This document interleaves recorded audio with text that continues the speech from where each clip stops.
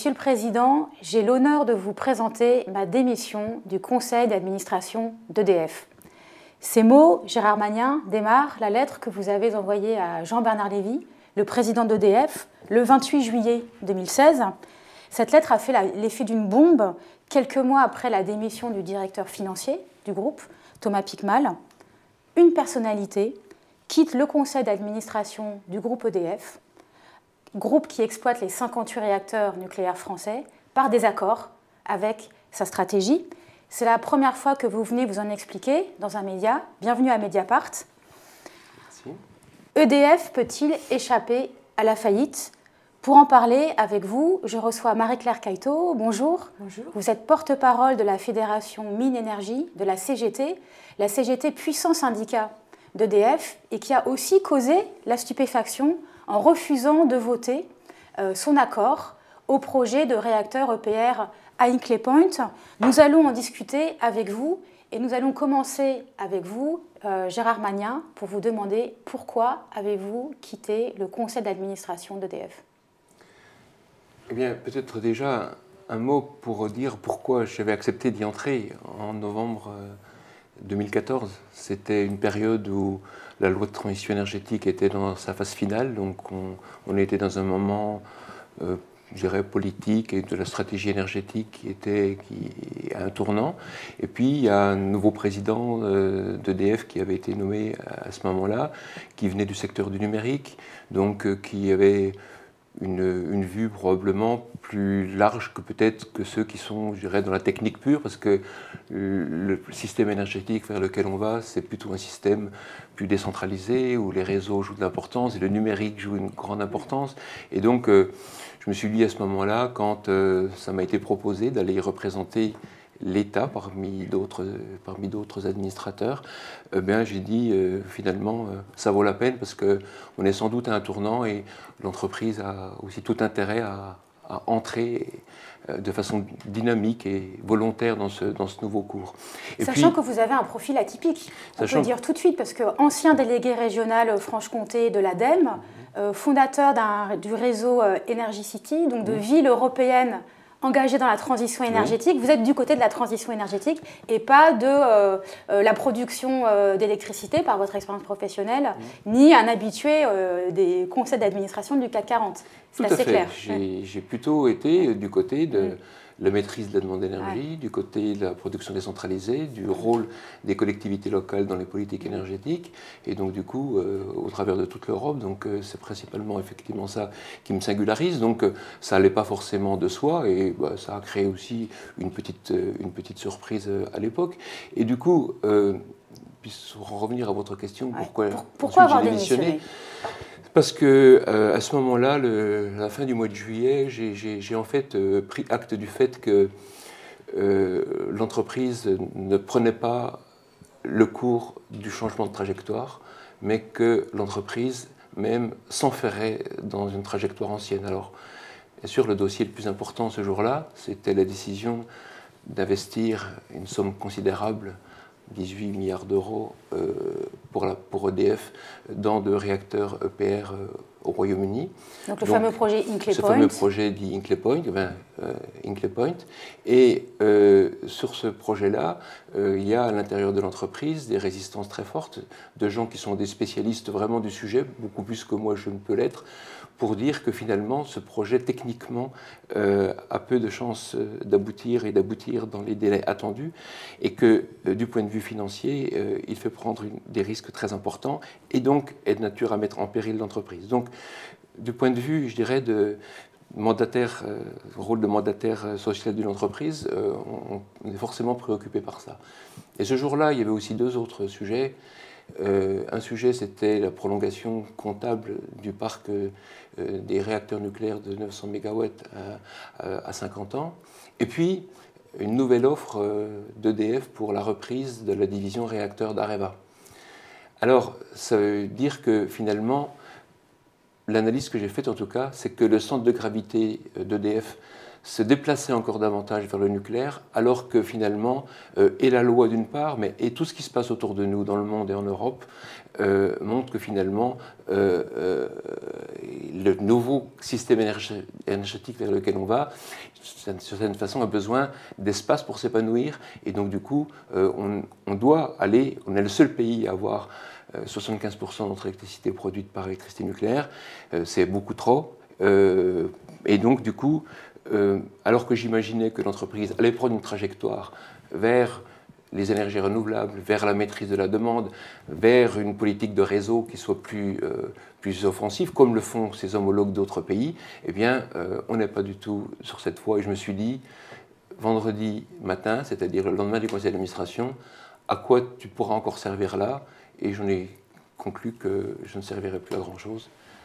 Mais vous, vous, en avez conclu que vous ne servirez plus à, grand-chose. Euh, ça dit quand même quelque chose du fonctionnement du conseil d'administration de ce, grand groupe euh, industriel, euh, puisque vous y étiez nommé par l'État.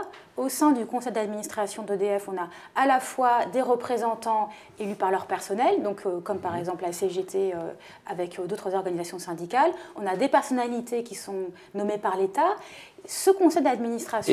Et, des administrateurs indépendants. Et des administrateurs indépendants, exactement. Et ce conseil d'administration d'EDF, comment fonctionne-t-il? C'est-à-dire, est-ce une chambre d'enregistrement ou est-ce vraiment un lieu de débat et de discussion sur les orientations stratégiques du groupe EDF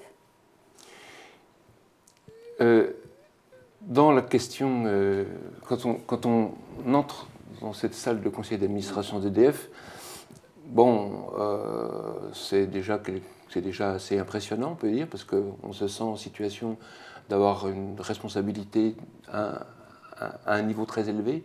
Et en même temps, on se dit que les choses, pour l'essentiel, se sont passées avant que le conseil d'administration se réunisse. Principalement avec le poids qu'a le nucléaire dans, EDF, dont certains disent parfois c'est l'entreprise nucléaire et pas d'électricité. Donc en fait, on sent bien cette place est très très importante. Et du coup, les questions nucléaires se traitent au plus haut niveau. Et comme toujours, on peut dire de, presque, on peut dire depuis toujours, se traite entre le président de la République et puis le président euh, d'EDF. Et donc après, le conseil d'administration lui-même, sur la forme, est ouvert. On a le droit de s'y exprimer. Mais on est plutôt dans un système assez monolithique, il faut reconnaître, c'est-à-dire dans un système, je pourrais dire même dogmatique. C'est difficile. Pourquoi dogmatique? Ben, C'est-à-dire euh, dogmatique en ce sens qu'il y a des certitudes euh, intangibles et euh, pas ou très peu de part au doute. Et c'est ce qui pose problème dans n'importe quelle structure, dans n'importe quelle entreprise. S'il n'y a pas de place pour le doute, s'il n'y a pas de place pour essayer de de, montrer ou de faire apparaître qu'il peut y avoir des faiblesses dans la stratégie officielle, eh bien forcément, euh, euh, c'est jamais simple pour une entreprise de se priver finalement euh, des apports un petit peu qui peuvent être critiques ou qui peuvent interroger le dogme, j'ai tendance à dire. Et parce qu'on est dans une situation un peu de cet ordre-là. Donc, il n'y a jamais le choix entre deux solutions, il y a le choix entre une solution qui est la seule solution et dont on peut discuter autour et poser quelques questions, mais au bout du compte, la solution, quand elle arrive au conseil d'administration, elle est là pour être avalisée.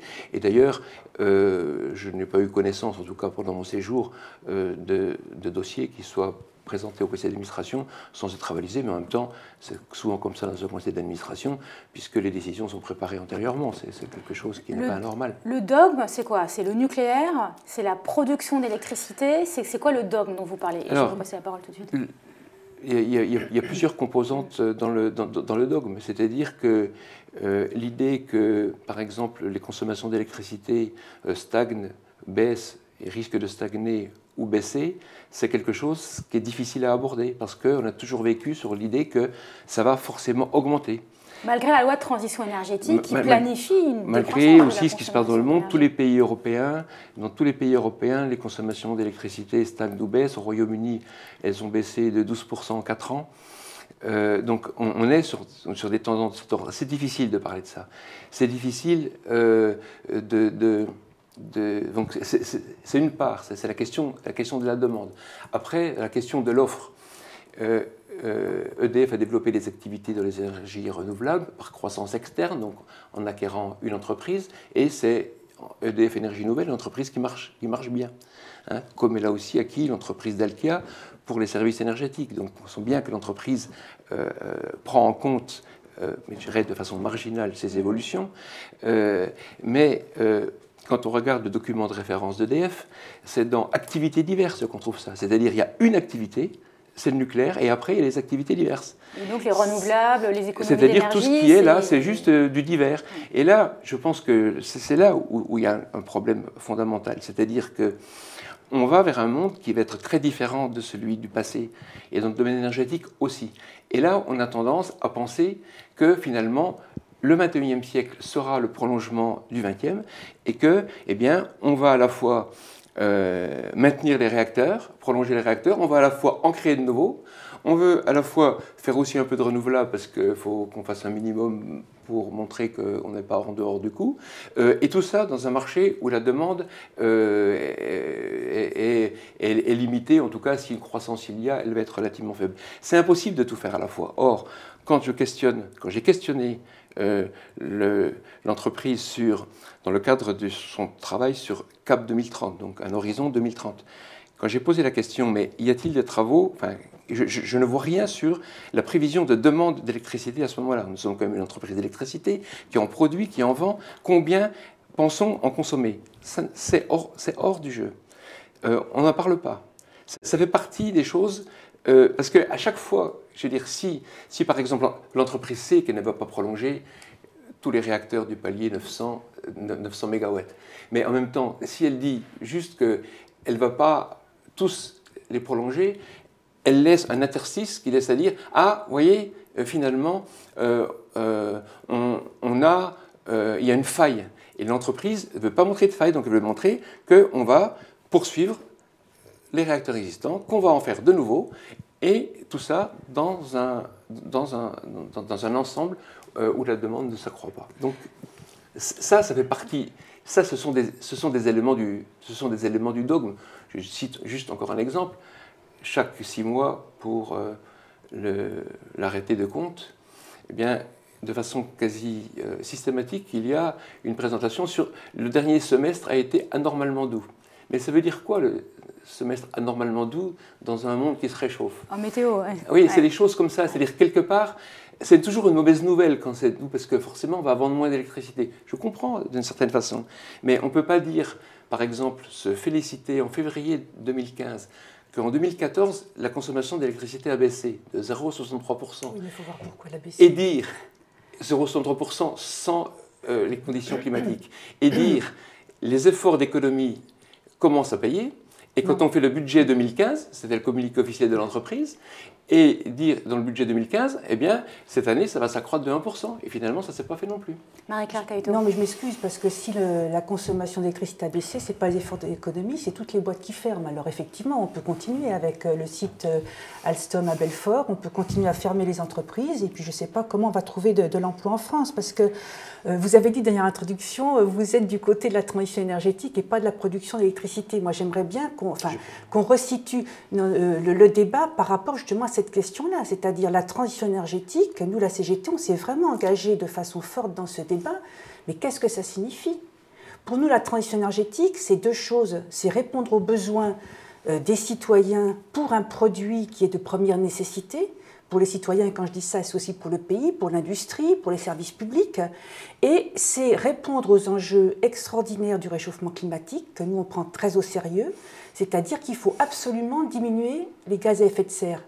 Donc quand euh, vous dites en introduction qu'on a effectivement une production d'électricité à partir de 75% du nucléaire et que c'est un point aberrant dans le monde, moi je veux bien, mais c'est aujourd'hui ce qui fait qu'on est le meilleur euh, élève en Europe sur les émissions de gaz à effet de serre. Alors qu'est-ce qu'on veut?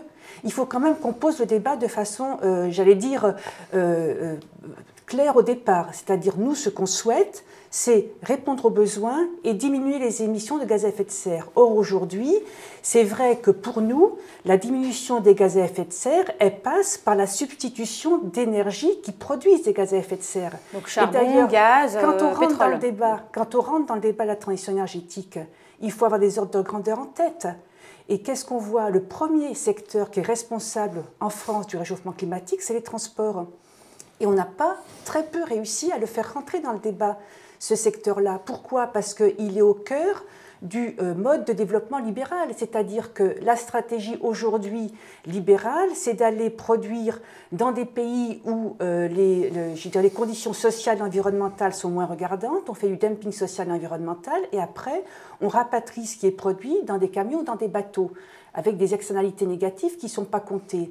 Donc, si vous voulez, la question du transport pour nous est centrale. D'ailleurs, c'est un secteur qui est en augmentation depuis plusieurs années en émissions de gaz à effet de serre. Et je ne pense pas que c'est la loi Macron pour libéraliser les bus qui va, euh, qui va quand même améliorer ça. Parce que je prends juste un exemple. Hein. Aujourd'hui, la SNCF, elle va être obligée de payer 5 millions d'euros pour combler le déficit de sa filiale Webus qui est en train de concurrencer ses lignes ferroviaires. Enfin, on marche complètement sur la tête. schizophrénique. Donc, si euh. vous voulez, pour nous, la transition énergétique, c'est un, on répond aux besoins. Je rappelle quand même qu'en France, il y a 11 millions de personnes qui sont en précarité énergétique et que c'est un chiffre qui est en augmentation.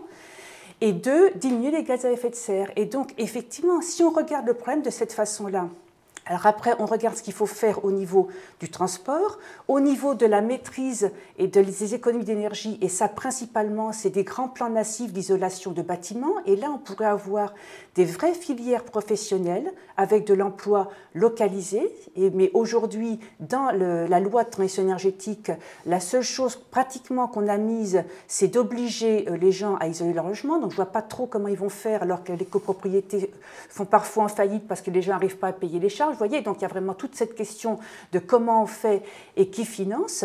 C'est la question aussi de l'urbanisme, pour faire en sorte que les gens, ils habitent pas très loin de leur lieu de travail, ou des horaires décalés ou fractionnés. Voilà, donc c'est toutes ces questions-là qu'il faut aborder. Tout Alors après, Mais Marie-Claire Caïto, la loi de la transition énergétique aussi, selon la loi française... C'est pas une transition électrique, la transition énergétique. Tout à hein. fait. Mais on soit bien d'accord hein, entre nous. je vous entends, mais en même temps, on a voté, le Parlement français a voté une loi de transition énergétique qui pose comme objectif de réduire la part du nucléaire dans la production d'électricité, 50% en 2025. Ça veut dire fermer des réacteurs. Or, vous, la CGT Minénergie, vous vous opposez par exemple à la fermeture de la centrale de Fessenheim. Et donc là, il y a une position qui peut paraître contradictoire pour la transition énergétique, mais pas pour la fermeture des réacteurs. Est-ce que ça se non, tient? Justement, parce qu'on est pour la transition énergétique. Parce que comme je voudrais, pas électrique. je voudrais revenir sur une chose. Je voudrais revenir sur une chose. Si on veut vraiment faire une transition énergétique, c'est-à-dire si on veut diminuer le gaz à effet de serre, qu'est-ce qu'il faut faire? Il faut faire des transferts d'usage. C'est-à-dire qu'il faut remplacer euh, des formes de production d'énergie qui émettent des gaz à effet de serre par des formes d'énergie qui n'en émettent pas. Par exemple, Donc la question, c'est, je suis entièrement d'accord d'introduire les énergies renouvelables, mais on ne va pas remplacer euh, du nucléaire, par exemple, par du charbon, par du, par du pétrole ou par des choses comme ça. La discussion, c'est remplacer le nucléaire par les renouvelables aujourd'hui. L'idée, oui, mais pourquoi la discussion, c'est de remplacer des, émissions, des formes de production d'énergie pas émettrices de gaz à effet de serre par des formes pas émettrices C'est là qu'il y a un problème. Nous, ce qu'il faut, c'est, ce qu'on dit, c'est qu'il faut faire des transferts d'usage. C'est-à-dire que la question numéro un, c'est la question des transports. Donc, par exemple, si vous électrifiez les transports, vous avez besoin de plus d'électricité. Plus de trams, moins de voitures, par exemple. C'est ça, pour donner un exemple les transports collectifs, c'est extrêmement mm. important. Mais quand même, je voulais revenir là-dessus, sur la production d'électricité. Euh, nous, nous pensons qu'effectivement, si on veut faire une vraie transition énergétique et pas électrique, la production d'électricité, elle va être en augmentation parce qu'on aura besoin, un, de ces transferts d'usage, parce qu'on a une population qui est en augmentation en France contrairement à d'autres pays, et parce qu'on a besoin de réindustrialiser le pays. Si on veut avoir des circuits courts, si on veut produire ce qu'on consomme, il va bien falloir qu'on ait des entreprises sur le sol français. Or, aujourd'hui, on est en train de toutes les fermer, on n'a plus de sidérurgie, bientôt on pourra plus, on peut plus construire les voitures, les, ni les Michelin qu'on va avoir besoin. Donc c'est quand même un véritable problème. Gérard Magnin. Euh, effectivement, c'est un véritable problème qu'il y ait euh, une, réduction de la, des activités industrielles. Mais aujourd'hui, la question dans le monde énergétique et dans, dans le monde électrique, parce que les systèmes électriques, euh, en fait, surdéterminent les politiques énergétiques. Les pays globalement centralisé, on fait des systèmes énergétiques électriques centralisés, et il ressort de là que les pouvoirs locaux sur ces sujets ont moins d'importance, que le décentralisé a moins d'importance, alors que les pays fédéraux ont fait d'autres systèmes, ou les pays scandinaves, où le pouvoir local est plus fort, ont fait d'autres systèmes. Donc on a, on a ça. Aujourd'hui, il y a une profonde mutation dans le monde énergétique, c'est-à-dire que simplement, euh, on apprend ces jours-ci que Areva cède son activité éolienne offshore à Siemens Gamesa. On apprend ça. Et le même jour, on apprend que l'entreprise Vattenfall vient de gagner un appel d'offres pour de l'éolien offshore en mer du Nord à 60 euros le mégawattheure. C'est très peu cher. 60 euros le mégawattheure. Euh, euh, d'après la Cour des comptes, le prix, le prix, d'après la Cour des comptes, le prix du mégawattheure de centrale existante aujourd'hui amorti, c'est 58,9 euros. Et le prix de l'éolien offshore, c'est pas pour, pas pour du, pour, je dis pour du nucléaire amorti.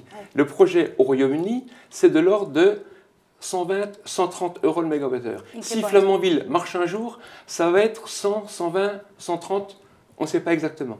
Et on est aujourd'hui capable de faire de l'offshore euh, à moitié prix. Donc, donc il y a une mutation totale qui se fait. Et là, aujourd'hui, on est en train de priver, en restant sur une action mononucléaire, on est en train de priver l'émergence de PME, de TPE, de start-up. Moi, je suis dans la région Bourgogne-Franche-Comté. il n'y a pas de centrale nucléaire, mais nous avons euh, Areva. Areva est en situation de difficulté industrielle, comme vous le savez et euh, euh, en situation de difficulté industrielle. Et donc ça, c'est pas, je dirais, ceux qui contestent le nucléaire qui ont rendu cette situation euh, comme ça à Reva. C'est simplement, globalement, on sent qu'on est arrivé à un système un petit peu à bout de souffle. Mais en même temps, dans cette région, il y a un cluster éolien avec 1200 salariés qui représentent 60 entités. Et là, c'est le monde qui vient. C'est le monde qui arrive, c'est le monde des nouveaux salariés, de nouvelles entreprises. Et c'est peut-être, madame, un monde qui vient en termes de salariés où euh, euh, les syndicats en général sont pas très bien implantés. Et du coup, il y a une tendance aussi dans les organisations syndicales, moi j'étais syndiqué toute ma vie, je le suis encore, euh, à, maintenir l'existant, parce que les mandants les, salariés sont dans les entreprises qui existent aujourd'hui, c'est normal, et c'est normal qu'il faille les défendre, mais en même temps, il faut penser aussi aux entreprises qui viennent, et on ne peut pas simplement se lamenter sur le fait qu'il y a des entreprises qui s'en vont, et en même temps défendre une politique énergétique qui empêche l'émergence de nouveaux arrivants et, qui, font le, qui feront le tissu industriel de demain. Alors, il y a un autre projet qui vient, en tout cas dans l'esprit du gouvernement français, c'est le projet de réacteur Hinkley Point. On écoute tout de suite le ministre de l'économie, en tout cas Emmanuel Macron, quand il était encore ministre de l'économie, nous parler d'Inkley Point. We back Inclay Point projects. It's very important for France. It's very important for nuclear sector and EDF.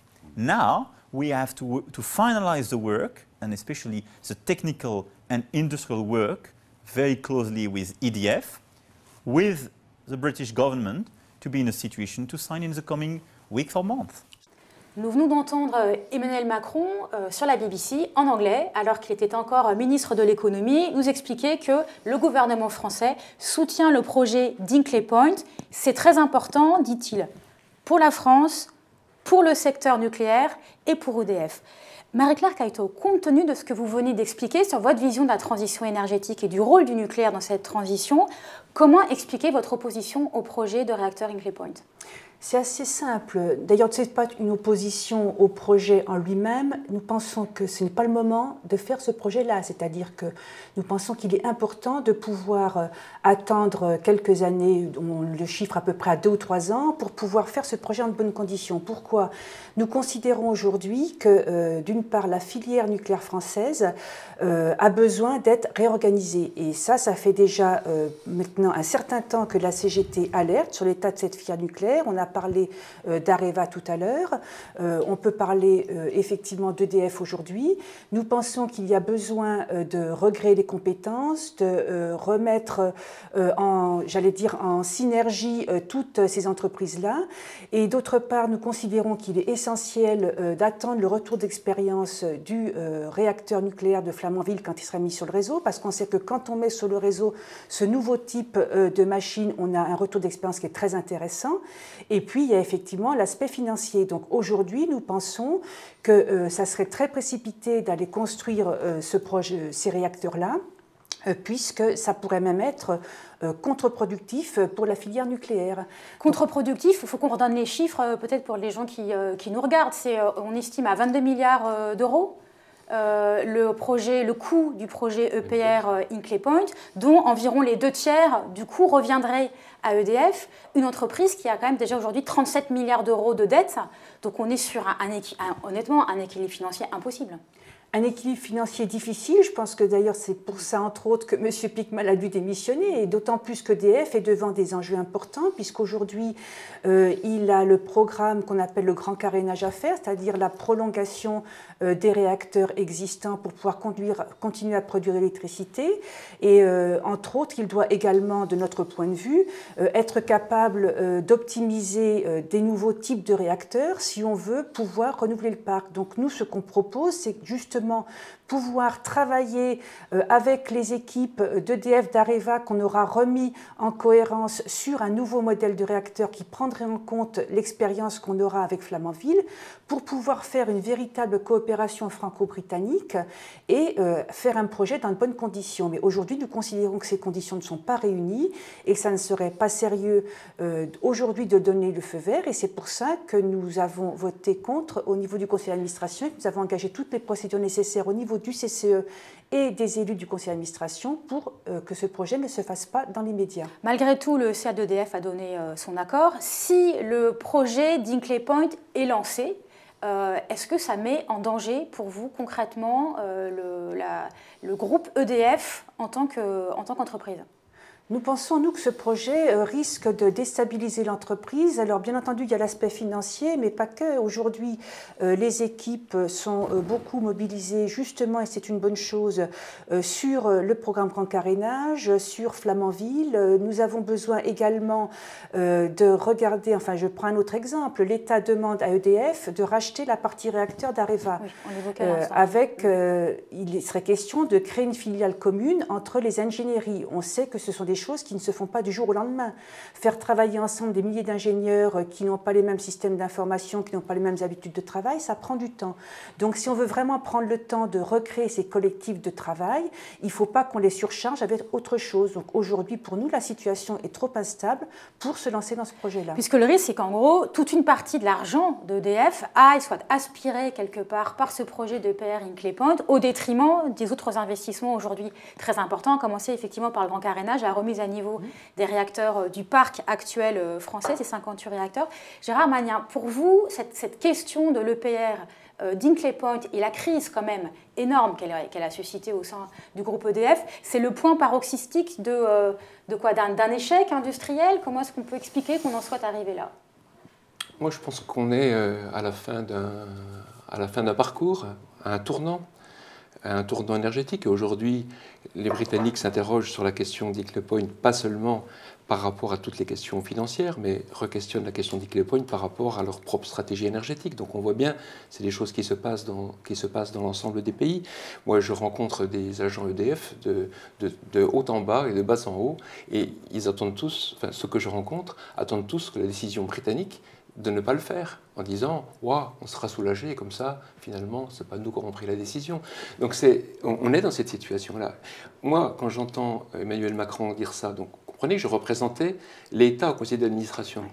Donc euh, c'est une question de, donc c'est une question de loyauté pour moi à un moment de voir euh, si je suis entré au conseil d'administration pour accompagner la loi de transition énergétique et que je me trouve devant une situation où pour un projet euh, très hasardeux au Royaume-Uni, on doit céder des actifs à EDF, doit, l'État doit lui-même céder des actifs pour recapitaliser, pour permettre à ce projet d'exister, ça veut dire que les marges de manœuvre pour que d'autres développements se fassent dans l'entreprise, euh, que j'ai cité tout à l'heure, maîtrise de la demande, euh, donc nouveaux services énergétiques, c'est ça que je veux dire, parce qu'il faut gagner de l'argent avec ça, avec le développement des renouvelables, tout ça, c'est clair qu'on ne peut pas tout faire. Donc pour moi, c'est aspirer finalement l'ensemble des moyens d'entreprise vers un projet aléatoire. Quant à la reprise, euh, de, parce que tout, va ensemble, quant à la reprise de la division réacteur d'Areva par, par EDF, euh, e mais ça, on est complètement à l'opposé des mouvements de l'histoire aujourd'hui. Aujourd'hui, qu'est-ce que font les entreprises pour euh, survivre et pour pour s'engager dans, le nouveau monde qui vient, eh bien, quelque part, elles désintègrent leurs activités pour gagner en agilité. Or, qu'est-ce qu'on fait, nous?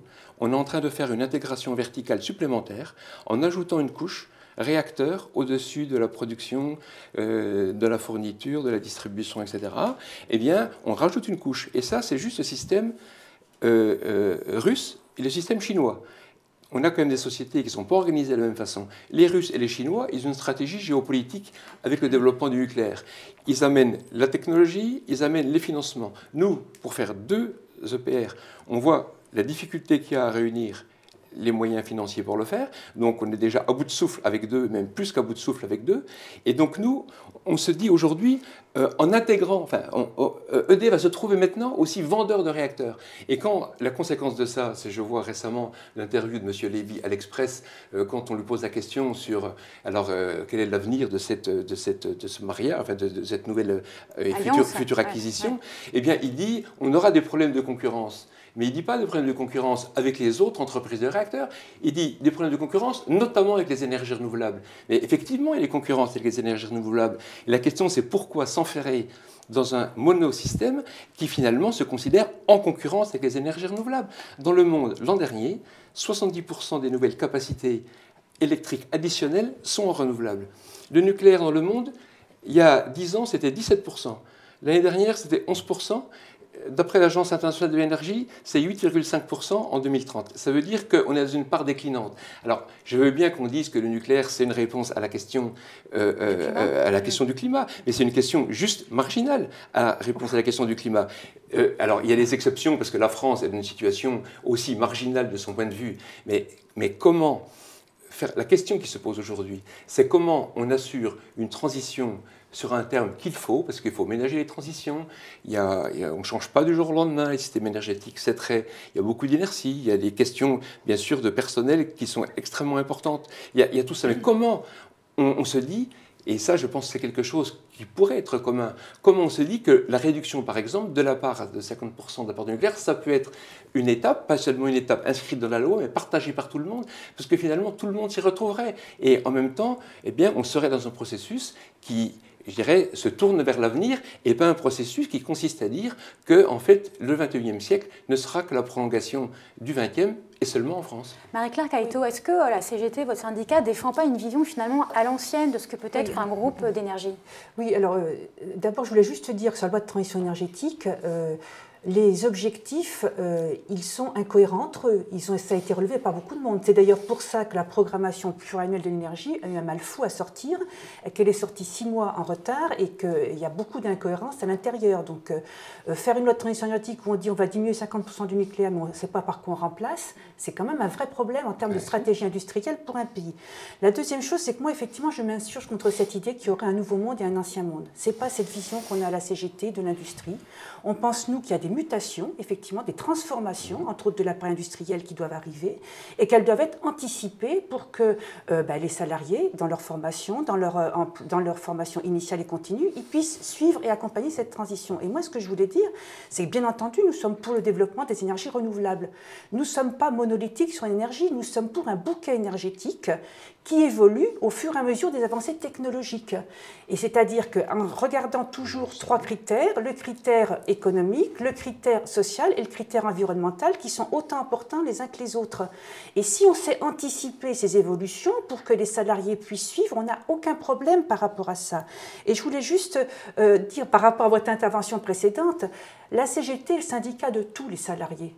Et nous ne prenons pas des positions justement en fonction de tel endroit ou tel endroit où on serait implanté. Nous sommes vraiment le syndicat de tous les salariés. Mais par contre, euh, je vais donner un exemple. Énergie nouvelle, les salariés ne sont pas au statut alors qu'ils devraient l'être. EDF Énergie Nouvelle. EDF Énergie Nouvelle, les salariés ne sont pas au statut électriques. Ils sont très heureux de leur travail. C'est les plus motivés de tout le groupe EDF dans les euh, études euh, de motivation. Non, non, mais ça c'est vous qui le dites. Moi je n'ai pas vu cette étude. Mais en tous les cas, nous ce qu'on veut, c'est que c'est tant mieux pour eux. Nous ce qu'on veut, c'est que tous les salariés soient satisfaits de leur travail et aient de bonnes conditions de travail. Mais je ne sais pas si on leur posait la question d'être au statut, ça ne les intéresserait pas quand même. Parce que les salariés qui sont au statut des industries électriques et gazières, ils sont tous intéressés par ce Et pourquoi il existe ce statut? C'est parce qu'on a un service public de l'énergie. Les deux sont indissociables. Or, ce qu'on est en train de faire aujourd'hui, euh, mais ça, c'est pas lié, bien entendu, aux énergies renouvelables. Hein, c'est lié à la concurrence et à la privatisation des entreprises. Ce qu'on est en train de faire, c'est que on est en train de tuer le service public de l'énergie. Et moi, j'ai envie de dire, regardez, euh, aujourd'hui, il y a eu des intempéries assez importantes et il y a des lignes électriques qui sont tombées et beaucoup de foyers qui sont privés d'électricité. J'ai envie de demander aux gens, est-ce que vous êtes sûr que demain, si le secteur est privatisé, ces lignes elles vont être montées aussi vite et gratuitement? Non. Donc c'est vraiment aujourd'hui, nous, ce qu'on veut poser, euh, c'est la question du service public de l'énergie et de l'électricité en particulier, qui est en train d'être complètement privatisé. Je peux prendre l'exemple aussi des concessions hydrauliques qui sont des énergies renouvelables, mhm. hydrauliques, qui sont une façon de produire l'électricité sans émettre de gaz à effet de serre à bas coût, et qui permettent également la gestion de l'eau, le stockage, c'est pas rien, et puis tout le redémarrage des centrales en cas de problème. Or aujourd'hui, dans la loi de transition énergétique, et c'est un facteur important qui fait que la CGT s'est battue contre, il y a la privatisation du secteur hydraulique. Donc je pense que le débat central pour nous aujourd'hui, il est qu'est-ce qu'on veut demain au niveau de l'énergie? Est-ce qu'on veut un service public pour l'intérêt général? Ou est-ce qu'on veut de la concurrence et de la privatisation? Où là, effectivement, il y a beaucoup d'argent à se faire, et en particulier sur le renouvelable. Et pour, terminer, Marie-Claire Caïto, cette vision d'un service public de l'énergie, la CGT parle même d'un pôle public, vous avez tout un projet, toute une vision d'organisation d'un pôle public de l'énergie. Ne pouvez-vous pas l'imaginer sans nucléaire? Mais nous, le problème, c'est pas euh, quelles sont les technologies dans le pôle public, c'est indépendant. Euh, c'est indépendant et dans vos discours, c'est pas, c'est pas indépendant, c'est très lié. Non, dans le pôle public, on a toutes les formes de production d'énergie, quelles qu'elles soient. Et je veux dire, si demain il y a 10% de nucléaire ou si dans 50 ans il n'y a plus de nucléaire, c'est pas un problème ça. Nous, le bouquet énergétique, on le fait évoluer en fonction des avancées technologiques, mais en ne remplaçant pas une énergie qui ne produit pas de gaz à effet de serre par une qui en produit, parce que quand même, il y a une question de temporalité dans l'affaire. Hein. Les scientifiques du GIEC, ils disent c'est tout de suite qu'il faut agir. Hein. Et si on attend, le bateau n'aura du mal à le tourner. Mais le pôle dans les 20 ans et même dans les 5 ans. L'intérêt du concept du pôle public, c'est qu'il prend toutes les entreprises du secteur, quel que soit le mode de production. C'est complètement indépendant. Mais l'idée, c'est vraiment de donner des droits nouveaux aux salariés, aux citoyens, aux usagers, pour qu'ils puissent agir sur les stratégies des entreprises, parce qu'on pense que c'est un secteur très structurant et très stratégique pour un pays. Gérard Magna, est-ce qu'on pourrait imaginer un pôle public des énergies renouvelables, de EDF Énergie Renouvelable non, mais qu'il y ait des activités d'EDF dans les énergies renouvelables, c'est très, important. Pour moi, c'est un des éléments précisément qui, peut aider au changement, qui peut aider à cette transition. Mais aujourd'hui, on n'est plus non plus dans une situation où c'est le quartier général qui décide de tout. Parce que le système vers lequel on va et les technologies le permettent, c'est que quiconque, globalement, pourra produire son électricité. Donc on va vers un système comme ça. Donc on va vers un système où finalement la pensée, où c'est le quartier général qui va décider de tout, parce qu'on avait affaire autrefois à des grosses technologies qui nécessitaient effectivement que ça se passe comme ça. Mais ce monde-là, il est en train de, se défaire. Bien sûr, les véhicules électriques, je suis à, fond pour la décarbonation du, hein, secteur du transport, je n'ai pas du tout de, de, souci avec ça, mais euh, quand le parc électrique sera arrivé à un un, niveau tel que on commence d'en parler vraiment comme une demande d'électricité. On sera dans un système où la plupart, enfin, où la possibilité d'alimenter de, sa batterie de véhicule va se faire d'une autre façon qu'en passant par le système général. collectif aussi. Je mais, mais, bien mais aussi transport, mais aussi, mais, pour le transport collectif, etc. C'est-à-dire globalement, on va produire de l'électricité un petit peu partout. On a besoin de le stocker, et c'est justement très bien de le stocker dans une batterie quand il fait du soleil dans la journée et qu'on va le stocker dans la batterie. une voiture, une voiture, elle fonctionne environ 2% de son temps. 98% elle est arrêtée. Pendant 98% elle peut se recharger. Donc à partir du, moment où aujourd'hui, l'électricité solaire va devenir quasiment quelque chose qui, coûte rien. Hein. Dernier appel d'offres au Chili, 29 26 euros le mégawattheure en solaire au Chili. Donc on est aujourd'hui, euh, aujourd'hui on est, c'est-à-dire qu'on on est, on est là-dedans. Mais prenons ça comme une super opportunité, plutôt, ça, plutôt que de s'embarrasser là pour le coup de coûts externes qui durent très très longtemps pour la gestion de tout l'ensemble du système, du système euh, électronucléaire, quand même, l'entreprise EDF a décidé, il y a peu de temps, de repousser jusqu'au début du siècle prochain. Du 22e siècle. Le, démantèlement euh, de la, ce qu'on appelle la génération 1 des réacteurs qui sont terminés depuis 1985, qui sont, qui sont, clos, qui sont, dans la, arrêtés. qui sont arrêtés depuis 1985. Donc il aura fallu 5 ou 6 générations pour finir le démantèlement de ces, de ces premiers, dont un en Bretagne, Brennilis, qui fait 70 MW, c'est juste rien du tout. Donc quand même, on est dans cette situation-là. Et là, le report sur les générations futures, qui est une question essentielle du développement durable, eh bien c'est une question qui est posée par la question de la gestion des déchets nucléaires. Donc il faut faire en sorte de limiter les risques. et donc de limiter leur production. Moi, je ne suis pas un partisan du tout ou rien. Je suis un partisan de transition et de mutation progressive. Mais simplement, il faut qu'il y ait un cap. Et la mutation progressive, elle ne va pas se faire si on dit il faut déjà maintenir tout l'existant et puis pour ce qui vient, on verra la place qui lui reste. Et c'est la raison pour laquelle il faudra forcément arrêter les réacteurs.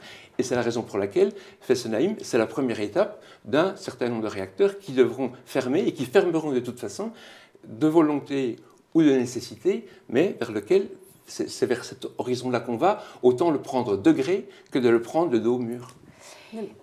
Un mot. Non, mm. mais juste, enfin bon, je pense qu'il ne faut pas euh, caricaturer les positions.